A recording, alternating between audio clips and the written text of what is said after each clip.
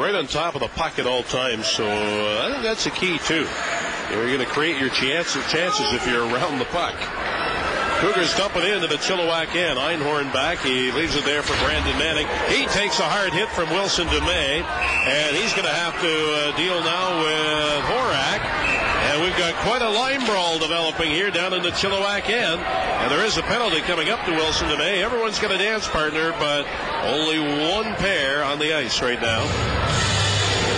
Well, Dubé certainly hit his man from behind. That was an easy penalty to make. I'm surprised, though, that it took so long for one of the referees to actually put the arm up in the air because Dubé really charged in and hammered his man from behind. I think it was.